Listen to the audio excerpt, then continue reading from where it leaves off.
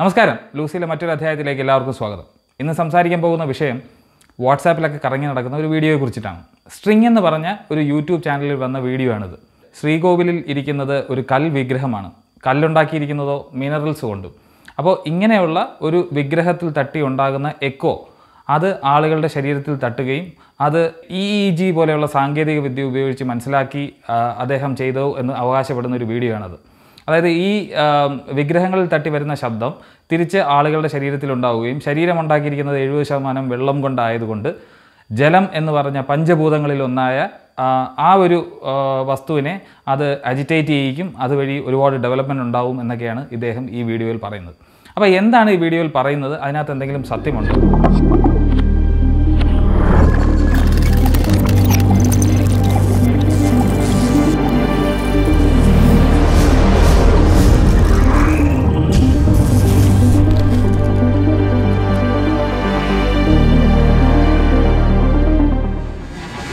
ആദ്യം തന്നെ ഇദ്ദേഹത്തിന് ശാസ്ത്രത്തോട് പരമ പുച്ഛമാണ് അതായത് ഈ ശാസ്ത്രം പ്രാക്ടീസ് ചെയ്യുന്ന ഇഡിയറ്റ്സ് അല്ലെങ്കിൽ ലോ ഐ ക്യു ഉള്ളവർക്ക് ഇത് കൃത്യമായി മനസ്സിലാവില്ല എന്നാണ് അദ്ദേഹം പറയുന്നത്.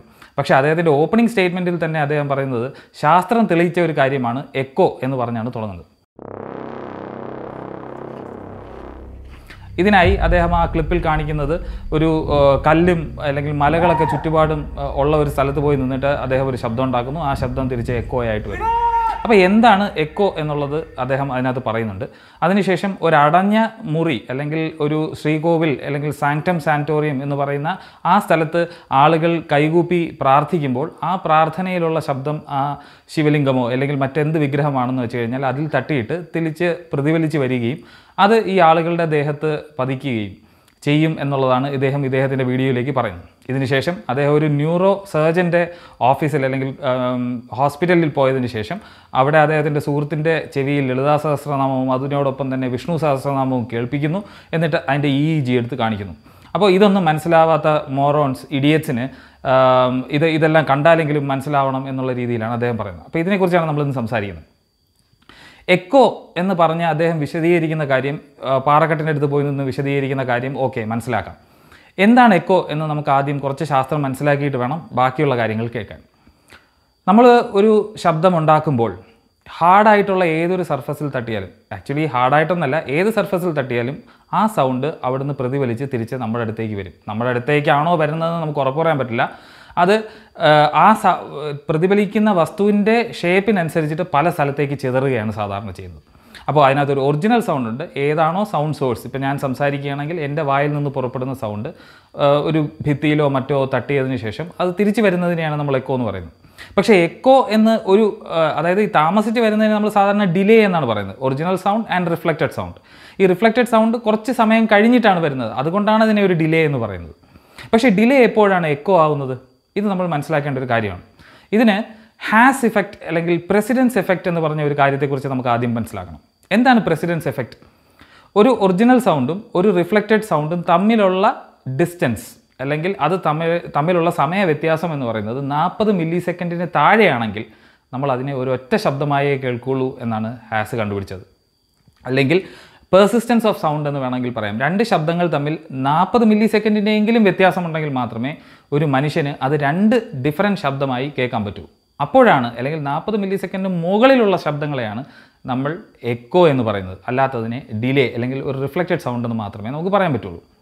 ഇനി നമ്മൾ മനസ്സിലാക്കേണ്ട ഒരു കാര്യം എന്തുകൊണ്ടാണ് നമ്മൾ മലയോ അല്ലെങ്കിൽ അതുപോലെയുള്ള സ്ഥലത്ത് പോയി നിന്ന് നമ്മൾ സംസാരിക്കുമ്പോൾ ഒരു എക്കോ കേൾക്കുന്നത്? ഇവിടുന്ന് വളരെ ദൂരം ആ സൗണ്ട് സഞ്ചരിക്കുകയും അതിനുശേഷം ദൂരെയുള്ള ഒരു മലയിൽ തട്ടിയതിന് ശേഷം അല്ലെങ്കിൽ മലകളിൽ പല പ്രാവശ്യം തട്ടിയതിന് ശേഷം റിഫ്ലക്റ്റ് ചെയ്ത സൗണ്ട് നമ്മുടെ തിരിച്ച് നമ്മുടെ കാതിൽ എത്തുമ്പോഴാണ് നമുക്ക് ശബ്ദം അല്ലെങ്കിൽ ഒരു എക്കോ ആയിട്ട് കേൾക്കുന്നത്. സൗണ്ട് അപ്രോക്സിമേറ്റ്ലി ഒരടി ട്രാവൽ ചെയ്യാനായിട്ട് ഒരു മില്ലി സെക്കൻഡ് സമയമാണ് എടുക്കുന്നത്. അപ്പോൾ ഏറ്റവും കുറഞ്ഞത് ഇരുപത് അടിയെങ്കിലും ദൂരം പോയിട്ട് തിരിച്ച് വന്നാൽ മാത്രമേ അതിനെ ഒരു രണ്ട് രണ്ടാമതൊരു ശബ്ദമായി നമ്മൾ ഇത് കേൾക്കുള്ളൂ. കാര്യം ഇരുപതടി അങ്ങോട്ട് ഇരുപത് മില്ലി സെക്കൻഡ് തിരിച്ച് ഇങ്ങോട്ട് ഇരുപത് മില്ലി സെക്കൻഡ് അപ്പോൾ ടോട്ടൽ നാൽപ്പത് മില്ലി സെക്കൻഡായി അതിനുശേഷം വരുന്ന ഒരു ശബ്ദത്തെ മാത്രമേ നമുക്ക് രണ്ടാമതൊരു ശബ്ദമായി തിരിച്ചറിയാൻ പറ്റുള്ളൂ. അപ്പോൾ ഇദ്ദേഹം എന്താ ചെയ്യുന്നത്? ഈ എക്കോ എന്ന് പറഞ്ഞതിനെ എക്സ്പ്ലെയിൻ ചെയ്തതിന് ശേഷം നേരെ ശ്രീകോവിലിനകത്തേക്കുള്ള കാര്യമാണ് പറയുന്നത്. അപ്പോൾ നമ്മളൊരു റൂമിനകത്ത് അല്ലെങ്കിൽ ഒരു ബാത്റൂമിനകത്ത് കയറുമ്പോൾ നമ്മൾ കേൾക്കുന്ന ശബ്ദം എന്താണ്? അതും റിഫ്ലക്റ്റഡ് ശബ്ദം തന്നെയാണ്. പക്ഷേ അത് എക്കോ അല്ല. അതിനെ നമ്മൾ പറയുന്ന മറ്റൊരു പേരാണ് റിവേബറേഷൻ അതായത് ഒന്നിലധികം ശബ്ദം ഒന്നിലധികം ചെവരിൽ തട്ടി തിരിച്ചു വരുന്നതിനെയാണ് നമ്മൾ റിവേബറേഷൻ എന്ന് പറയുന്നത്. മാത്രമല്ല റിവർബറേഷനകത്തുള്ള ഓരോ ഡിലേ അല്ലെങ്കിൽ ഓരോ റിഫ്ലക്റ്റഡ് സൗണ്ടും തമ്മിലുള്ള അകലം എന്ന് പറയുന്നത് ഈ നാൽപ്പത് മില്ലി സെക്കൻഡിന് താഴെയുമാണ്. അതുകൊണ്ട് എല്ലാം കൂടെ ചേർന്ന ഒറ്റ ശബ്ദമായിട്ടാണ് നമ്മൾ കേൾക്കുന്നത്. ബാത്റൂമിൽ നിന്ന് പാടുമ്പോൾ നമ്മൾ എല്ലാവരും ശ്രദ്ധിച്ചിട്ടുള്ള ഒരു കാര്യമാണ് അതിനൊരു മുഴക്കം ഉണ്ടാവും അതാണ് റിവേബറേഷൻ എന്ന് പറയുന്നത്. അപ്പോൾ അമ്പലം പോലെയുള്ള ഒരു ചെറിയ കൺഫൈൻഡ് ആയിട്ടുള്ള ഒരു സ്ഥലത്തിൽ ഹാർഡ് ബോൾസ് ആണ് ഉണ്ടെന്നുണ്ടെങ്കിൽ തീർച്ചയായിട്ടും നമ്മൾ അവിടെ കേൾക്കുന്നത് അഥവാ ഉണ്ടാകുന്നെങ്കിൽ തന്നെ റിവബ്രേഷൻ ആയിരിക്കും. പക്ഷേ ആളുകൾ ഒരുപാട് കൂടുന്ന സ്ഥലമാണെങ്കിലോ ഇല്ലെങ്കിൽ അവിടെ ഒരുപാട് വസ്തുക്കൾ വെച്ചിട്ടുണ്ടെങ്കിലോ സൗണ്ട് അങ്ങോട്ടും ഇങ്ങോട്ടും തെറ്റിയും തെറിച്ച് പോയി നമ്മൾ റിവേർബറേഷൻ കേൾക്കാൻ പോലും സാധ്യതയില്ല. അപ്പോൾ അമ്പലത്തിനകത്ത് എക്കോ ആണ് കേൾക്കുന്നതെന്ന് പറയുന്നത് വസ്തുതാപരമായി തന്നെ തെറ്റാണ്. ഇദ്ദേഹത്തിന് എന്തുകൊണ്ട് മനസ്സിലാവുന്നില്ല എന്ന് ചോദിച്ചു കഴിഞ്ഞാൽ ഇദ്ദേഹത്തിന് ശാസ്ത്രത്തെക്കുറിച്ചുള്ള അല്ലെങ്കിൽ അക്കൂസ്റ്റിക്സിനെ കുറിച്ച് സൗണ്ടിനെ കുറിച്ചുള്ള അറിവ് വളരെ പരിമിതമാണ് എന്നാണ് നമ്മൾ മനസ്സിലാക്കേണ്ടത്. എല്ലാ വസ്തുക്കൾക്കും കോഎഫിഷ്യന്റ് ഓഫ് അബ്സോർപ്ഷൻ എന്ന് പറഞ്ഞൊരു കാര്യമുണ്ട്. എല്ലാ വസ്തുക്കളെയും ഇപ്പോൾ നമ്മളൊരു മെത്തയാണ് ചെവറിന് പകരം അവിടെ വയ്ക്കുന്നതെന്നുണ്ടെങ്കിൽ ശബ്ദം കൂടുതലും അബ്സോർബ് ചെയ്ത് പോകാനാണ് സാധ്യത. അതായത് ഇവിടുന്ന് പോകുന്ന ശബ്ദം ആ മെത്തയിൽ അബ്സോർബ് ചെയ്ത് ആകിരണം ചെയ്ത് അതിനകത്ത് തന്നെ നിൽക്കാനാണ് സാധ്യത. ഒരിക്കലും അവിടുന്ന് റിഫ്ലക്റ്റ് ചെയ്ത് ഇങ്ങോട്ട് ശബ്ദം വരില്ല. ഇനി ഇദ്ദേഹം പറയുന്ന കാര്യം സൈമാറ്റിക് ഫ്രീക്വൻസീസിനെ കുറിച്ചിട്ടാണ്. എന്താണ് സിമാറ്റിക്സ് എന്ന് പറയുന്നത്? നമ്മളൊരു ഗിറ്റാർ സ്ട്രിങ് ഉണ്ടെന്ന് വയ്ക്കുക അതിനെ ഒന്ന് പ്ലക്ക് ചെയ്ത് വിട്ട് കഴിഞ്ഞാൽ എന്താണ് സംഭവിക്കുന്നത്? ഗിറ്റാറിന്റെ സ്ട്രിങ് അങ്ങോട്ടും ഇങ്ങോട്ടും വൈബ്രേറ്റ് ചെയ്യും. വൈബ്രേറ്റ് ചെയ്യുന്നതിനോടൊപ്പം തന്നെ അത് അതിന് മുന്നിലുള്ള വായുവിനെ മർദ്ദം കൂട്ടുകയും കുറയ്ക്കുകയും ചെയ്യും. ഇതിനെ നമ്മൾ കംപ്രഷൻ ആൻഡ് റാർഫാക്ഷൻ സൈക്കിൾസ് എന്നാണ് പറയുന്നത്.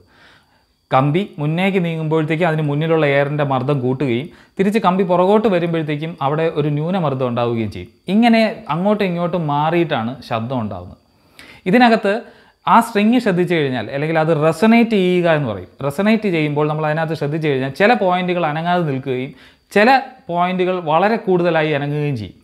ഈ അനങ്ങാതെ നിൽക്കുന്ന പോയിന്റുകളെ നമ്മൾ പറയുന്നത് നോട്ട്സ് എന്നാണ്. ഈ നോട്ട്സിന്റെ സ്ഥലത്തോ ഒട്ടും എയറിന് മൂവ്മെന്റ് ഇല്ല എന്ന് തന്നെ നമുക്ക് പറയാൻ കഴിയും. ഇതിപ്പോൾ സ്ട്രിങ് എന്ന് പറയുന്നത് ഒരു വൺ ഡയമെൻഷനുള്ള സാധനമാണ്. അതായത് ലെങ്ത് എന്ന് പറയുന്ന ഒരു ഡയമെൻഷൻ മാത്രമുള്ള നീളം എന്ന് പറയുന്ന ഒരു ഡയമെൻഷൻ മാത്രമുള്ളതാണ് പക്ഷേ ഒരു പ്ലേറ്റ് ആണെങ്കിലോ ഒരു പ്ലേറ്റിൽ നമ്മൾ തട്ടുകയാണെന്ന് വയ്ക്കുക ഈ പ്ലേറ്റിന് രണ്ട് ഡയമെൻഷൻ ഉണ്ട്. അപ്പോൾ നോട്ട്സ് എന്ന് പറയുന്നത് നേരത്തെ സ്ട്രിങ്ങിൽ കണ്ട ഓരോ പോയിന്റുകൾ പോലെ ആയിരിക്കില്ല. പകരം അതിനകത്ത് ഓരോ വരകളായിട്ടായിരിക്കും കാണുന്നത്. ഇപ്പം ഞാൻ നിന്ന് സംസാരിക്കുന്നത് ഒരു റൂമിലാണ് ഇവിടുത്തെ നോട്ട്സ് എന്ന് പറയുമ്പോൾ നമ്മൾ ഇതിനകത്ത് മൂന്ന് ഡയമെൻഷനിൽ നോക്കിക്കഴിഞ്ഞാൽ മാത്രമേ അതിനകത്തുള്ള നോട്ട്സ് കിട്ടുള്ളൂ അപ്പോൾ ഈ പ്ലേറ്റിനകത്ത് നമ്മൾ മൺതരികൾ ഇട്ടിട്ട് ഈ പ്ലേറ്റിനെ വൈബ്രേറ്റ് ചെയ്യുകയാണെങ്കിൽ എന്ത് സംഭവിക്കും? എവിടെയൊക്കെയാണോ മൺതരികൾ അനങ്ങാതെ നിൽക്കുന്നത് അവിടെ ഒരു പ്രത്യേക പാറ്റേൺ ഫോം ചെയ്യുന്നതായിട്ട് കാണാൻ പറ്റും. ഇതിനെപ്പറ്റി ഇപ്പോൾ യൂട്യൂബിൽ നോക്കിയാൽ പോലും നിങ്ങൾ സിമാറ്റിക്സ് അടിച്ച് നോക്കിക്കഴിഞ്ഞാൽ ധാരാളം വീഡിയോകൾ കിട്ടാൻ സാധ്യതയുണ്ട്. അല്ലെങ്കിൽ തന്നെ ഇന്റർനെറ്റിൽ ചെക്ക് ചെയ്ത് കഴിഞ്ഞാൽ നിങ്ങൾക്ക് കിട്ടും. അപ്പോൾ അവിടെ നോഡൽ ലൈൻസ് ആണ് ഉണ്ടാവുന്നത്. അതാണ് ഇദ്ദേഹം കാണിക്കുന്നത്. ഇദ്ദേഹം ഇതിൽ തെറ്റിദ്ധരിക്കുന്നത് എന്താണ്? ഇതിന്റെ വെള്ളം എന്ന് പറയുന്ന ഒരു ഭൂതത്തിന്റെ ആക്ടിവിറ്റി ആയിട്ടാണ് ശരിക്കും ഇദ്ദേഹം ഇതിനെ മനസ്സിലാക്കുന്നത്. ഇദ്ദേഹം പറയുന്ന മറ്റൊരു കാര്യം കൂടെ നമുക്ക് ശ്രദ്ധിക്കേണ്ട ആവശ്യമുണ്ട്. ഇദ്ദേഹം ഇദ്ദേഹത്തിന്റെ ഒരു സുഹൃത്തിനെ കൊണ്ട് ഇ ഇ ജി അല്ലെങ്കിൽ ഇലക്ട്രോ എൻസെഫലോഗ്രാഫ് എടുക്കാനായിട്ട് ഒരു ന്യൂറോ സർജന്റെ അടുത്ത് കൊണ്ടുപോകുന്നുണ്ട്.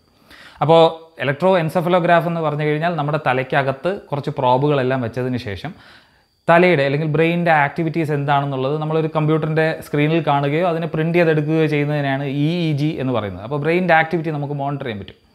അപ്പോൾ ഇദ്ദേഹം ചെവിയിലേക്ക് ഇദ്ദേഹത്തിന്റെ സുഹൃത്തിന്റെ ചെവിയിലേക്ക് ഒരു ഇയർഫോൺസ് വെച്ച് കൊടുത്തിട്ട് ആദ്യം ലളിത സഹസ്രനാമം കേൾപ്പിക്കുന്നു അതിനുശേഷം വിഷ്ണു സഹസ്രനാമം കേൾപ്പിക്കുന്നു. എന്നിട്ട് ഈ ഇ ജിയിലുള്ള വേരിയേഷൻ എടുത്ത് കാണിക്കുന്നു. എന്നിട്ട് പറയുന്നു കണ്ടോ ഇതാണ് ഇതിനൊക്കെ ഉള്ള കഴിവ്. ഇതിന് വിഷ്ണു സഹസ്രനാമത്തിന് ഉറക്കാനും അതുപോലെ ലളിതാ സഹസ്രനാമത്തിന് ഉണർത്താനും ഒക്കെ കഴിയും. ഇത് പ്രത്യേകം എനർജി ചാർജ് ചെയ്യും. വെറും തള്ളാണ്. ഇങ്ങനെയുള്ള അതായത് എന്തുകൊണ്ടാണ് ഈ ഇ ഒരു വേരിയേഷൻ കണ്ടത്?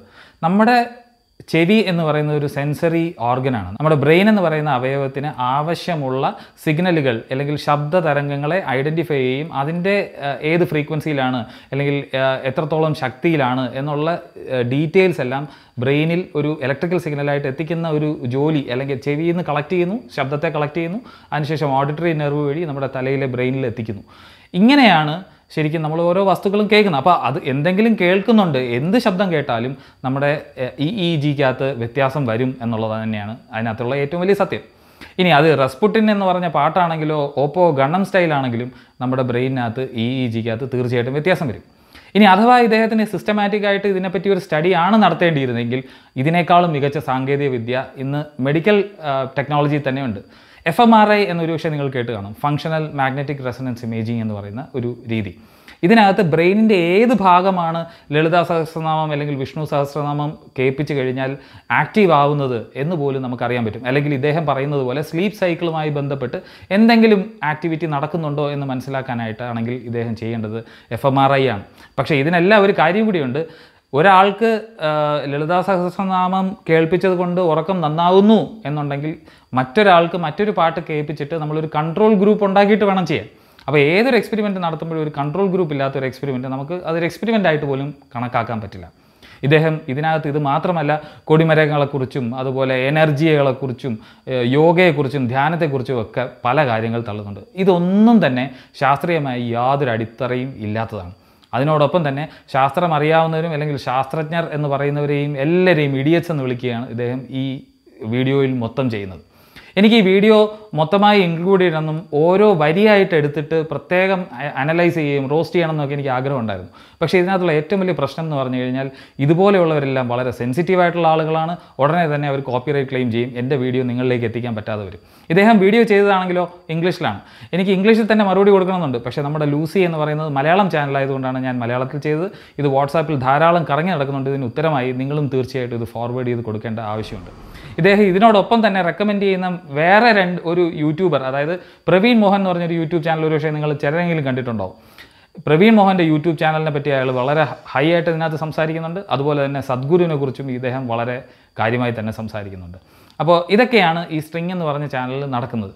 അപ്പോൾ ഇതിനകത്ത് ഞാൻ പ്രത്യേകിച്ച് ഇദ്ദേഹത്തെ വ്യക്തിയധിക്ഷേപം നടത്താനോ മറ്റോ ഒന്നും ഉദ്ദേശിക്കുന്നില്ല. പക്ഷേ എന്തെങ്കിലും ഒരു വിശ്വാസത്തിന്റെ കാര്യത്തെ ഇദ്ദേഹം ശാസ്ത്രവുമായിട്ട് കൂട്ടിക്കെട്ടുന്നത് അവസാനിപ്പിക്കണമെന്ന് മാത്രമേ എനിക്ക് അഭ്യർത്ഥിക്കാനുള്ളൂ. അതിന് പ്രത്യേക ഒരു വിശ്വാസ്യതയുണ്ട് എന്ന് ഇദ്ദേഹത്തിന് തീർച്ചയായിട്ടും അറിയാവുന്നത് കൊണ്ടാണ് ഇദ്ദേഹം ശാസ്ത്രത്തെ കൂട്ടുപിടിച്ച് ഇതുപോലെയുള്ള കാര്യങ്ങൾ വെളുപ്പിക്കാനായി ശ്രമിക്കുന്നത്. അപ്പോൾ ഇതൊരു വിശ്വാസമാണ് അതൊരു കൽപ്രതിമയാണ് അല്ലെങ്കിൽ ഒരു ഐഡലാണ്. അതിനെ നിങ്ങൾ വർഷിപ്പ് ചെയ്തോളൂ എന്ന് പറയുന്നതും ഇത് ശാസ്ത്രീയമാണെന്ന് പറയുന്നതും രണ്ടും രണ്ടാണ്. അപ്പോൾ ഇദ്ദേഹം ഈ വിശ്വാസത്തെ ശാസ്ത്രം ഉപയോഗിച്ച് വെളുപ്പിക്കുന്ന പരിപാടി നിർത്തണം എന്നാണ് എനിക്കിതിനകത്ത് പറയാനുള്ളത്. അപ്പോൾ തീർച്ചയായിട്ടും ഈ വിഷയം നിങ്ങൾക്ക് ഇഷ്ടപ്പെട്ടു എന്ന് ഞാൻ വിചാരിക്കുന്നു. ഇതുവരെ എന്റെ ചാനൽ സബ്സ്ക്രൈബ് ചെയ്തിട്ടില്ലെങ്കിൽ തീർച്ചയായിട്ടും സബ്സ്ക്രൈബ് ചെയ്യുക. ബെൽ ബട്ടൺ അമർത്തിയാൽ മാത്രമേ നിങ്ങൾക്ക് നോട്ടിഫിക്കേഷൻ വരുള്ളൂ. എന്തായാലും ഒരു രണ്ടാഴ്ചയായിട്ട് എനിക്ക് വീഡിയോ ചെയ്യാനായിട്ടുള്ള ചെറിയ ബുദ്ധിമുട്ടുണ്ടായിരുന്നു. പക്ഷേ തീർച്ചയായിട്ടും ഇനി ഫ്രീക്വന്റ് ആയിട്ട് വീഡിയോ ചെയ്യുന്നതായിരിക്കും. അപ്പോൾ മറ്റൊരു ഇൻട്രസ്റ്റിംഗ് ആയിട്ടുള്ള ഒരു വിഷയമായി നിങ്ങളെ കാണുന്നതുവരെ M U host Chandrashekhar signing off